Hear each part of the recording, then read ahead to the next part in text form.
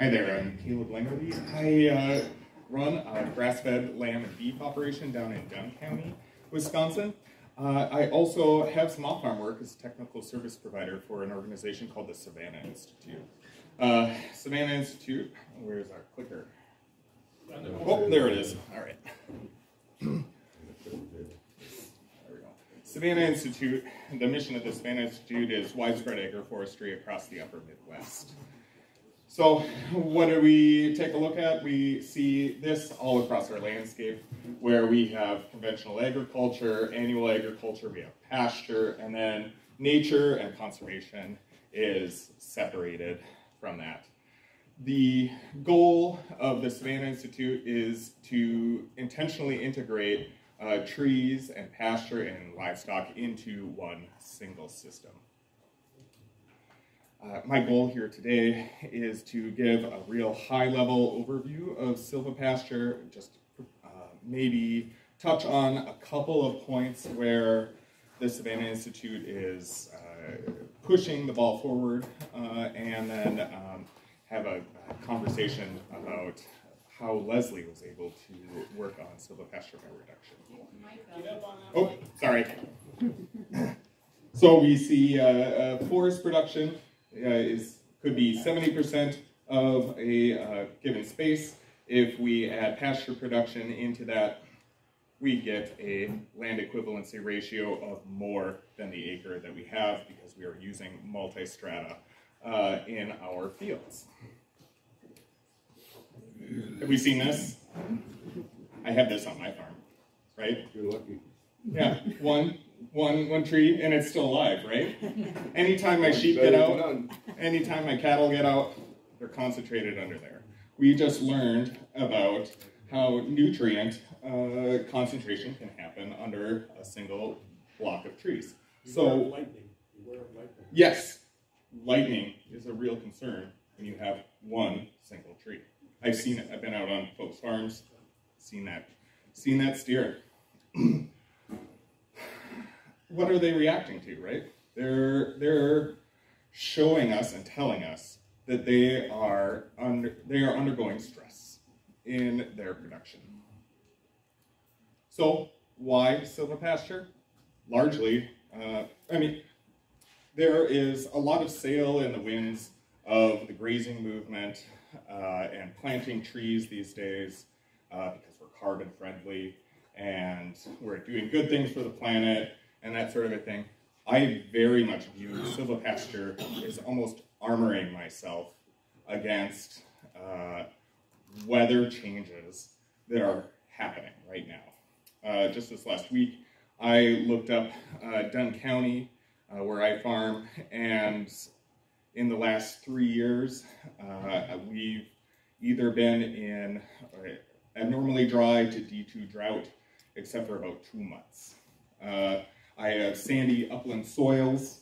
Um, they dry out quicker. Uh, we run out of forage quicker in the summer. So uh, livestock comfort is a part of this. Also forage production is a part of this. Uh, some, this is an older study, 20 years ago, so I'm just going to name that. Uh, but the industry livestock uh, the losses that the U.S. industry has exhibited from heat stress in this 2003 study is thus. It's a significant amount. This is old numbers. I'm sure it's higher uh, at this point, but that's the uh, most current data that we have. The University of Kentucky Animal Research Center has done uh, a fair amount of uh, studies on the increase of daily weight gain in different classes of animals that we can see here.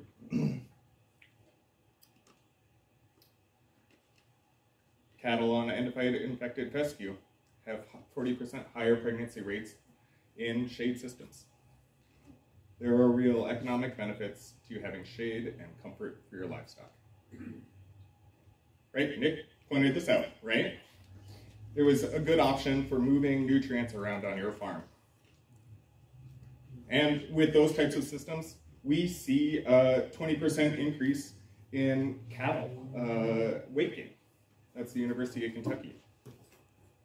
Tree shade, 60%. So there's a real economic benefit to having your cattle and shade uh, integrated with one another.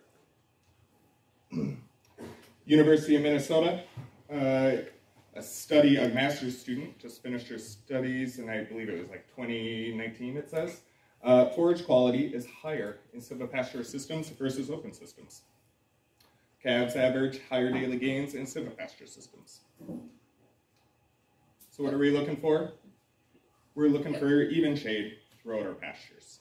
We're not looking for that first one where they're all concentrated around one single tree. We're looking to spread that out. You can see all the benefits that we uh, gain from even shade throughout the pasture.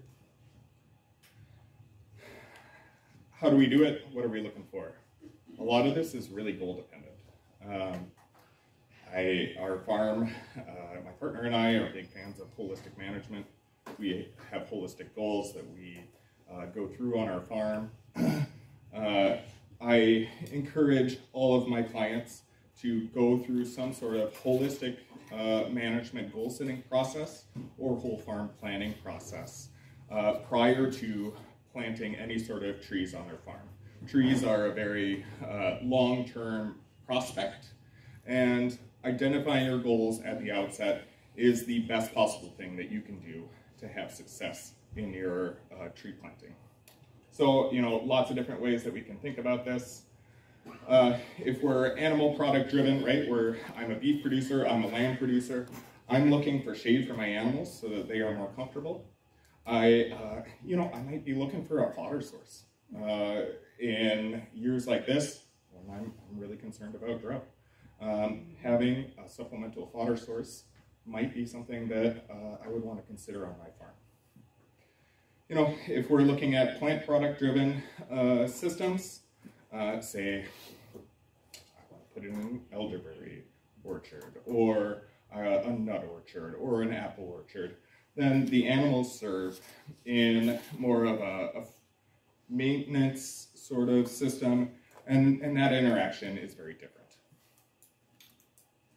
So how do we get there? There's a couple of different ways, addition and subtraction. Uh, I'll cover both here really quickly. Um, I, I think it, there's something to be noted that both of these systems uh, do require management intention, intention, management intensive rotational grazing. Uh, silvopasture does not exist without management intensive rotational grazing. If you are trying to add trees onto your pasture and you are set stocking them, they will eventually rub against your trees and you'll kill them that way. Uh, if we are doing silvopasture by subtraction and we are set stocking our animals, they will uh, they will uh, compact the root zone around the tree and they will eventually kill the tree. I drive all the way across Wisconsin. I see this all the time on roadways. I'm sure everybody does, where uh, a producer has just let the cow in or the, the herd into the woodlot, and that woodlot is destroyed. Um, that is not what we were talking about. That is a very different system than what we are advocating for here. So, uh, by addition, uh, this is a uh, dairyman down in, uh, he's in Westby, Wisconsin, uh, and he is adding uh, shade to his heifer pastures. Uh, so he is just looking for livestock comfort so that he can grow a healthier heifer. Uh, this is uh, an example of fodder sources that are largely coming out of New Zealand. New Zealand has a system. Uh, Dave Engen here. There we go. Oh, there we go. Also is planting for fodder source. Um, the idea behind uh, planting trees for fodder is that we uh, have a more resilient feed source. So as we're in that summer slump uh, in late July, August, and we're running dry on feed, that we can, it's called pollarding. Uh, this would be an example of a pollard on a willow tree. Uh, drop that feed source for those animals. Yeah, uh, willow in particular has uh, some natural deworming effects on, for small ruminants. Um, early days, but some tree crops are uh, shown to increase weight gain. Uh, Lynn asked us to specifically focus on small ruminants. There was a study out of the University of, well, I'm sorry, Virginia Tech. They have honey locust pastures, and what they found was that lambs, once they identified honey locust pods as a uh, feed source, were able to gain faster than the control group, just from pods falling on the ground. And I'm sure that's not just a whole bunch of snakes. Yeah, right. right, right, right. But uh, free feed, right? And free feed at a, a, time of year when we typically would be short on hay. Uh, mulberry uh, has also been uh, identified as having a high protein content, somewhere between, depending on, on the uh, cultivar of mulberry, uh, but between 14 and 34% protein. Um, so incredibly high. Um, these can be pollarded as well. um, I will advise that white mulberry is invasive. Do not plant white mulberry. We are looking for rubra or red mulberry. There's a couple of different ways uh, to incorporate that into your farm. Uh, the right would be an alley cropping system, uh, and this easily could be grazed right through here or cut for hay. Uh, it's a little easier of a management system than the silvopasture system on the right, uh, in which there are a few more trees to work around, but also that shade is more evenly dispersed, so it's up to the individual producer what their goals are. These are pictures of Savannah Institutes. Uh, they have a campus of farms down in Spring Green, Wisconsin, where they're doing a lot of demonstration around these ideas and principles and doing some testing. Uh, they have a flock of sheep uh, and have planted in a chestnut orchard. And they are rotationally grazing their sheep flock through that, uh, that chestnut orchard. they are doing so with, I think it's like a a five strand, uh, a five strand a perimeter fence, and they are testing a couple of different methods of protecting these trees from the livestock. This one is just a control with no polyline on it, and right over here uh, we are protecting those trees with just a single polyline that is connected to those tree tubes. So this is kind of how we're trying to crack the nut around adding trees into existing pastures. Uh, these these uh, tubes here come from, uh, uh there are many companies that produce uh, tree tubes. Uh, they're like mini greenhouses for tree tubes. They come in all sorts of different sizes. We found that the company Plantra produces a tree tube that is ventilated all the way up and down the tube and has a fair amount of growth. We also recommend them because it has a fiberglass stake in it as opposed to a bamboo stake, which often rots out by the time that we need it. they also come with these handy dandy uh, nets on top so that we are being good neighbors to our songbird friends. Uh, it's sad to see go check on your trees and find out that there's a songbird in there. So it's worthwhile to put those on top as well. Um, so how are we how are we protecting these trees, especially with, with sheep? It's a little less of a concern. If we are talking about beef, it's a little bit more of a concern. Uh, we're utilizing tools that every grazer has at their disposal. So this has been a technique that's been developed by uh, a cow, cow calf uh, producer down in Tennessee. Her name is Win Miller. There's a wonderful presentation on YouTube. Uh, Win Miller, if you Google Win Miller Appalachian Sustainable Development, um, you'll come up with an hour-long presentation that she gave on her system. Uh, she's been developing this along with another gentleman from Pennsylvania called uh, Trees for Graziers. Name is Austin Unruh.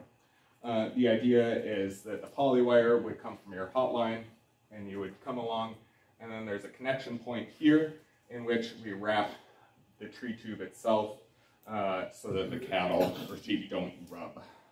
Um, thus far, we've had uh, pretty good success with it for the last, I think we have, in Wisconsin, I've seen systems that are about four years old at this point um, and have successfully survived uh, rotational grazing.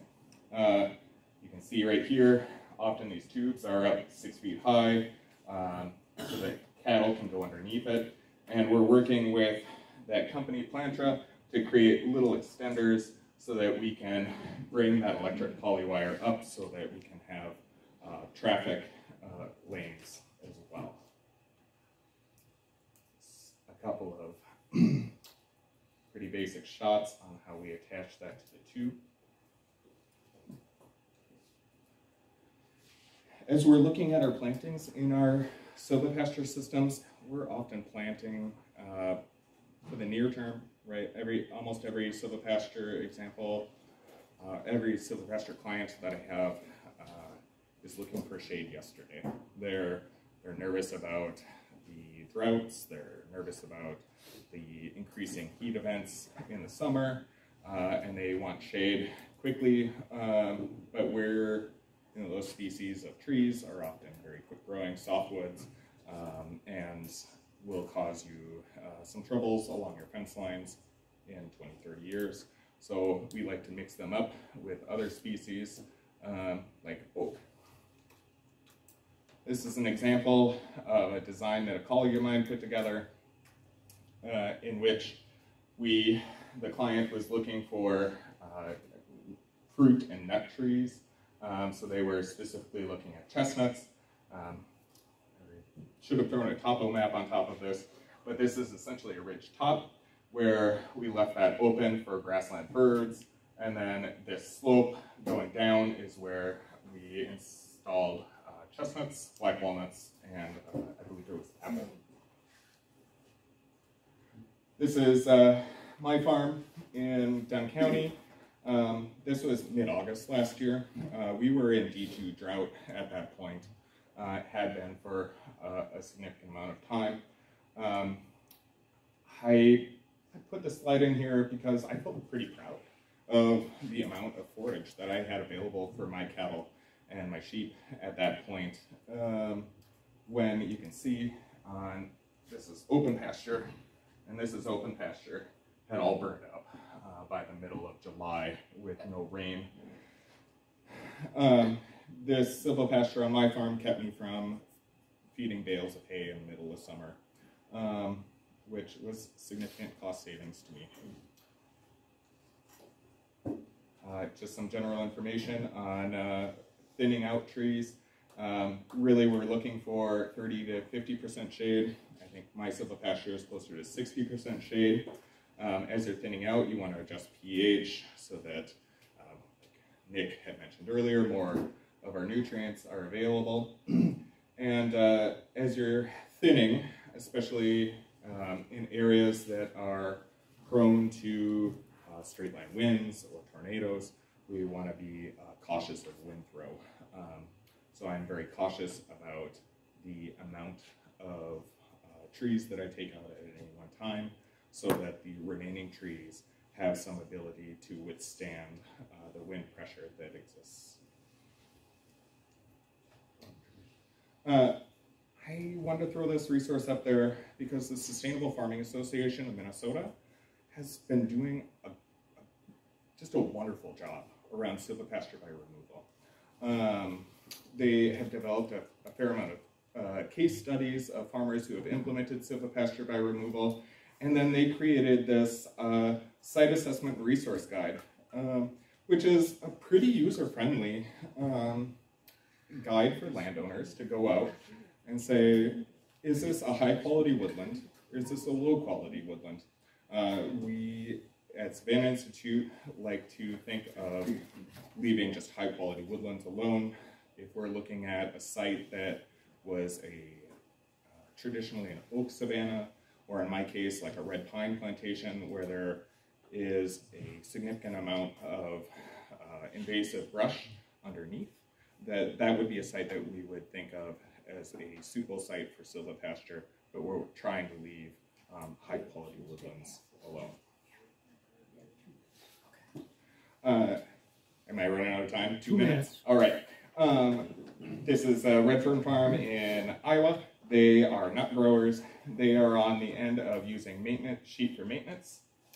Uh, this is uh, the Sherburne National Wildlife Refuge managed by the U.S. Fish and Wildlife Service. Uh, since 2017 through 2022, they did a five-year comprehensive study of pretty much everything. Bugs, bats, forage quality, um, herbaceous understory, and they did a pre and post uh, uh, evaluation of these after and utilized uh, Thousand Hills Cattle Company came in and did management intensive grazing to restore an oak savanna woodland.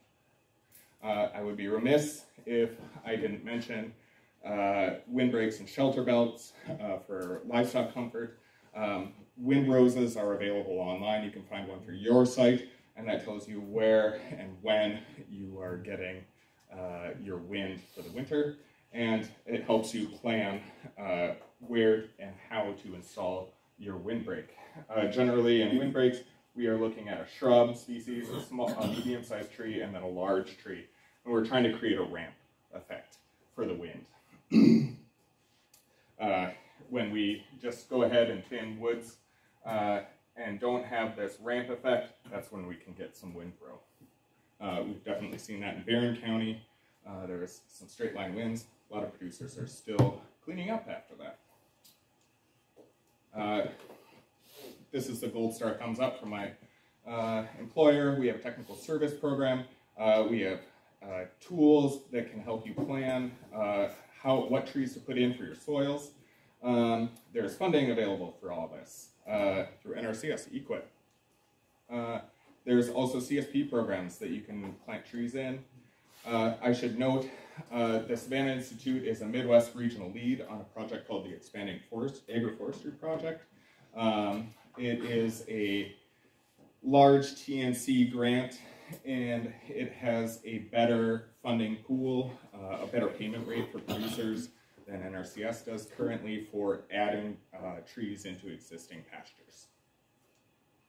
Um, $30 a tree.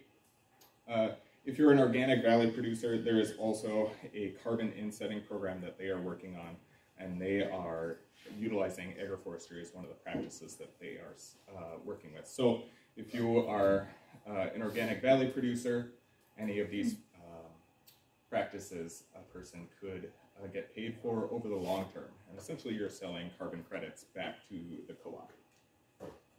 Uh, where can you learn more? We have fact sheets on our website, uh, crops.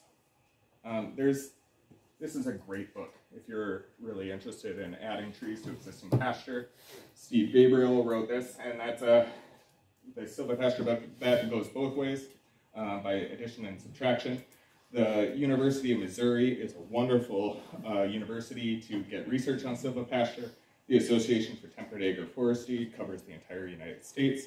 And on the right there, I put up a guide, but the, the National Agroforestry Center is also a wonderful resource, and that's a collaborative effort between the Forest Service and NRCS. Leslie.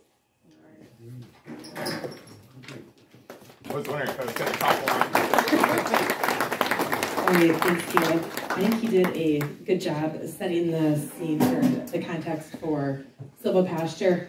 Um, I'm just gonna, I'll try to kind of keep moving on my stuff because we were talking before. I get talking about goats in particular and grazing, and I guess it's kind of like bugs, right? Right. um, we can kind of get going, but um, just for context, I am in the northeast corner of St. Croix County. I raise sheep and goats.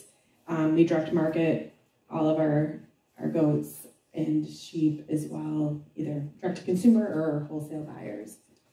But today um, we're going to talk a little bit about how we're using, um, working with silvopasture on our farm. And right now we're in the process of, I'd say, renovating or by removal is the technical term, I guess, is um, on our farm. And we're not really in the, I'd say, like maintenance stage of an existing silvopasture. Um, but on our on our farm, um, we have been as we've grown over the years with our herd and our flock of sheep and goats, we've kind of outgrown our pastures. And I've also found the last few years with the drought-like conditions ish in our area that our woodlands have actually been, and also grazing our hayfield has been kind of our saving grace for giving our pastures more time to recover um, and kind of help us get through the season. So um, as we've grown, we've started to, we will graze our pastures and then we've started to dabble over, the, not dabble, but kind of work on like grazing the edges of our pastures. So I would just add, um, use like portable fencing and jump onto our existing energizer that's in our barn and just graze the outsides. Is that good? Okay. All right, I'm taking my notes with me just because that way I don't forget to make it important for. I'll tuck it right here. Um, but I would, you know, just to get started, I was just like basically stealing the, you know, my energizer power from my existing fence line and grazing along the edges and kind of seeing how far I could get out because we had a lot of our farm, like probably many um, over the years, you know, brush has started to creep up. A lot of we have a lot of buckthorn and also um, honeysuckle and things like that. And so there's a lot of maintenance that needed to be done. And so we kind of were using utilizing that as another feed source. Um, and last year we started grazing our hay fields as kind of another part of that rotation as well. Um, this is I'll kind of get into more of this, but I wanted to kind of just again set context. So the last like I don't know around 2020 or so, we were doing some of this like grazing along our fence lines. We have um, on that back area, I don't know if, okay, down in the left corner or down in the bottom, there's an oak savanna down there. But if you were in there, unless you actually saw an oak tree, you probably would, would think it was just a buckthorn jungle. So um, we were we were initially because it was easy to access from our pasture and get our goats in and out without losing them. Well, there's been a few times where maybe they've gotten out, but that we're not talking about that right now. But um, it's it was it was feasible to get there, and so we worked on that area first. But it was it was so thick that it was hard to like tackle. But we kind of did what, what what we could with what we had for existing portable fencing and so forth. There was the area was logged a long time ago, so we were putting up fence on the old logging paths and kind of working from there. Um, and then from there, we had already had worked with NRCS like uh, when we first got started doing a grazing plan and getting fencing set up on our farm. And so um, I had talked with our conservationists, and actually we're we were doing when we started talking about this project, we were already starting CSP, so we had an existing relationship. And um, I'd asked about, and I, and I also learned about silvopasture and some of the really cool things that are happening over in Minnesota as well too. And I think our, our group has been a part of that over the years as well. And I was interested in figuring out how we could utilize that land, renovate it, um, you know, not only make it better habitat for our wildlife, but also make it more usable for our farm. And so we started to have that conversation with our conservationists and how that might work. Um, and that's where it led us to our getting started on a forestry plan. And I'll get into that in a few slides. But then from there now, we've been um, partway through an EQIP project. Um, after that, run it, we're focusing, been just focusing strictly on this oak savanna area. Um, and that's included using a forestry mower last year, and our goats have worked as kind of a tool to help set back that regrowth. And then this year, um, we are finishing some of the details with the remaining brush um, that we have left because when we mowed last year, do you remember all that snow we had? Well, we mowed when the snow, the, we had all that snow, so all of, I mean, it's way better than the 60 year old buckthorn trees, but all of our like stubble is like up to my knees because we had two feet of snow. Um, so we're kind of, we have more parts to work with. But, um, so, but this year we'll be kind of dealing that main, remaining brush, doing more control on the regrowth, and then getting ready to plant a pollinator mix and um, other forage in that area. Um, we're going to kind of see how the goats work with you know managing it this season just because we're going to put that that mix in um, and then the plan then is to then plant more more trees into our system the following year and again continue to use the goats to help manage that regrowth And then after that, we're going to kind of, we started, I think the area that we're working is about 10 acres. And our conservationists, we talked about like going forward, we might think about like, how can we, once we see how this works, how can we replicate this in other areas in our, on our farm? And of course, also think about how we can, you know, rep, manage that regrowth. Because if anybody's removed buckthorn before, and I know there's a few other small ruminant grazers, it will come back. Um, it's more manageable when it's small shoots than big trees, but um, that's a concern as well. Like, how do we continue to manage that? So I'm just going to do a little show and tell, just a little bit. This is an example of where we managed our goats, or we managed our herd um, to graze our our hayfield and also the edges of our woods. Um, you can kind of see it's a little bit of a before and after of like the tree line difference of the work they do um, in that area.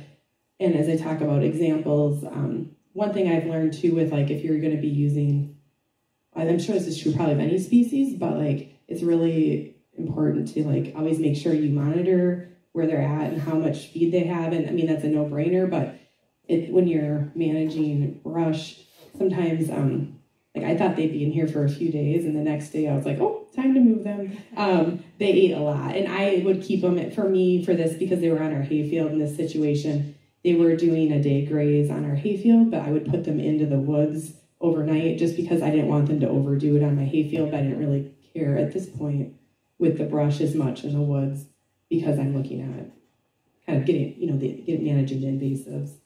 Um, do we have internet or not? No, okay. Well, this the video over here, I was gonna. I'm like, I kind of knew as a gamble, so that's okay. Um, on the left, this is an example of kind of what it looked like in our oak savanna. Um, in the over before we started doing work on it. On the top picture, um, it was an area where it was a little bit more open, um, but it was still very thick. Now a lot of it is it's very much it's very open. One of our friends that um, comes over and helps us with stuff on the farm. Um, he hunts on our farm too, and he kind of calls it now the Serengeti because it's like because so much of the buckthorn is gone that it is like considerably night and day different.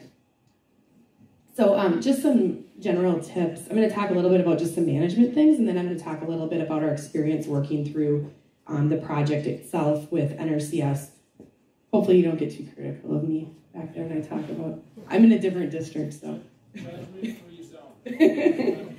um, so some tips for grazing small ruminants in the woods, and I'm sure if there's questions later. I know there's some other of you who've got experience too, but um, yeah, those yeah, Great Pyrenees, and I think some um, one's got a little bit of Maremont, but I usually call them Great Pyrenees because like it's easy to explain. Um, but you know, you might need to get your stock acclimated to eating brush if they haven't been used to eating brush. Um, it might take a little bit, um, but eventually, you know, they'll be hungry and they'll get used to it. Um, pre- get prepared to move animals sooner than later, sooner than maybe you planned. Um, and you know, I talked about that, but it it doesn't sound like that big of a deal. But if you're working with small ruminants, we use in the woods we use an electronet fence, and it works well, but it's very labor intensive to put up. So, um, you know, to put up a fence quickly, and you're like, oh, they need food now. Like, it might take a lot. You know, it's not, you know, I don't know, a 10 minute project. Like if you're enrolling a reel of poly wire um, for cattle in, in pasture. Um, you know, for areas where, again, we talked about not, um, this is, we're working on trying to remove invasives right now, but when we manage them in the future, we're not going to probably keep them in areas as long as what we're doing now, just because if you think of the same practices with, um, you know, grazing your pasture, you don't want to cause damage not only to the undergrowth for the grasses, but also the trees as well too. Um, predators can be an issue, so we keep dogs out with our our, our herd and our flock in the woods, um, and I think they do a pretty good job. I don't want to knock on wood too much, but um, they do a pretty good job of kind of keeping their their territory kind of marked out compared to like other um, other predators on with four feet.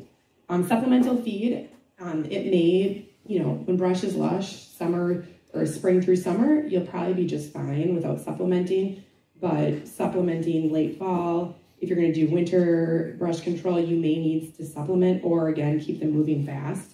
Um, it you have to kind of gauge it. And I found that when different areas of our woods, um, we've had to you kind of assess the forage, you know, the amount of forage that's available, the amount of brush that's available, and as they start to work through it, because every area is a little bit different based on tree species, how much what's un, in the understory, and so forth. It's a little harder to say, well, they're going to be in this area for a week um, or three days, just because there's a lot of variability. Um, equipment needs for small ruminants. Um, fencing, typically in the woods, we are using electronet um, and a strong energizer. Strong energizer is always good for sheep and goats. Um, you probably guessed that. Um, in our pastures, we will use um, poly wire, but out in the woods, I just like that. Even though it's a lot of work, I, I prefer to use electronet just because it's a little bit extra sense of security if something happens with, you know, the energizer, maybe battery di- dies out, um, or you just have a little bit more flexibility. Um, checking it regularly is important. Deer or trees might knock knock it down. Um, you know, clearing paths can really help with a new set up fence, um, just because uh, that net fence, but even if you were using other fences too, it's like having the brush and debris out of the way can make your life a lot easier. You're less likely to, you know, curse at yourself where you're fencing. Um, it's uh, water, minerals, um, thinking about handling and moving capabilities. So like probably you know different, but you think about like you're in the woods, like how are how am I going to get them back to the barn, or if we need to pull them off, how are we going to do that? Um, we have a couple different. Sometimes you know we've used just our stock trailer. Other times we've used a handler. Those of you who work at the Spooner Research Center, this was a retired piece of equipment. Um, we actually use that handler up there a lot um, to move if we were moving out. Like we may move a group of goat, goats out to the back end of our woods and start them there, and then we can kind of they kind of make their way back up towards the where we have permanent pasture, so we can move them back in. Shelter, um, you know, if there's enough tree canopy, and especially in the summertime, they'll probably be okay um, without having any formal shelter.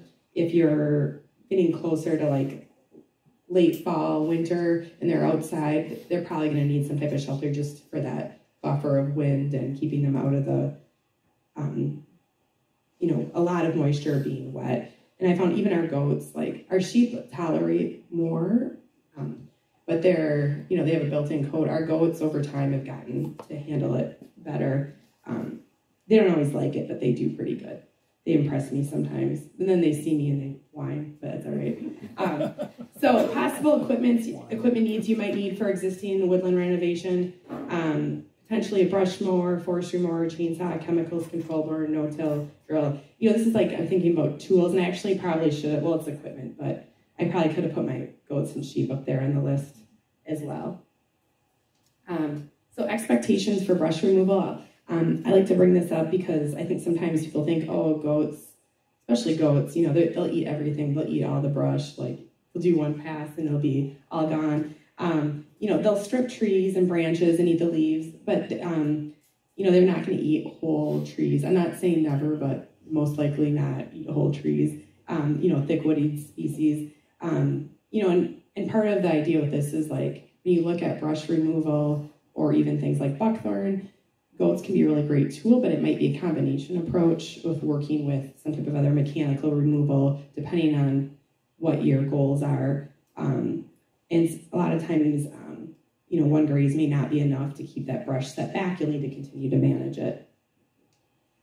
Okay, so I'm going to jump um, back into like working with NRCS. So this timeline is very similar to what I had up front, but this is like when we worked on this project. So we applied, um, we talked with our conservationists and then applied for the forestry plan. Um, you know, then we had a year where we did the forestry plan, then we moved into our project. Um, and then I'm going to just jump into this piece for time. So kind of how it works, because Caleb was that we were talking about this, he thought that it'd be helpful to talk a lot about like kind of how we worked through our, our project.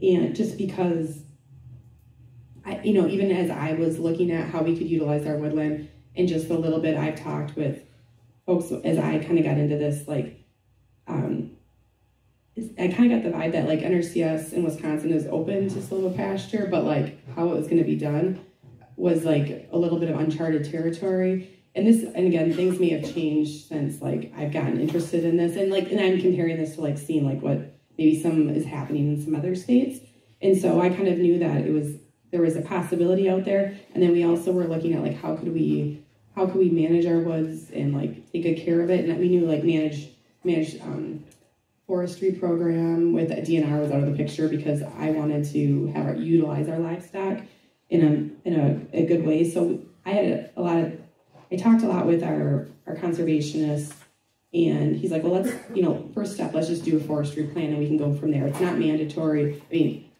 what that comes out of the plan. So um, I ended up.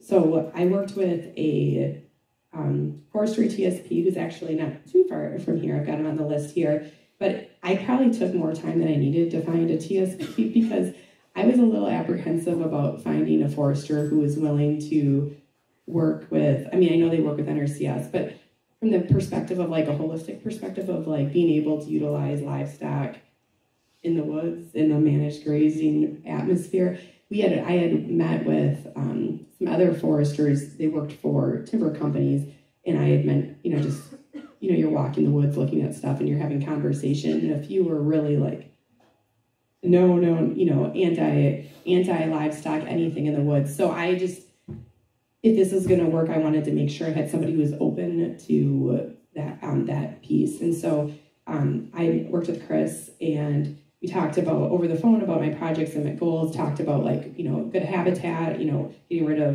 of those invasives and also the importance of being able to utilize our it is a piece of our farm and then um, we also do some maple sugaring so that was kind of the piece of it the part that we worked doesn't have or worked on has very few maple trees but then you know we talked about it and then we went through he came out and walked through our woods and then we went through the plan again and I even, you know, we had specific questions about the plan. He was willing to talk through them, um, which helped a lot.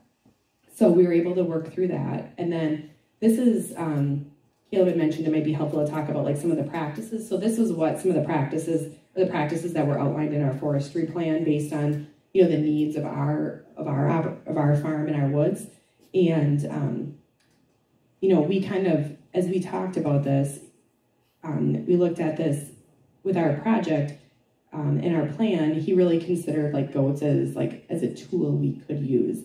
Um, you know, for, for, in this case, mechanical removal of um, you know the invasive uh, plant control, and even like with with a with.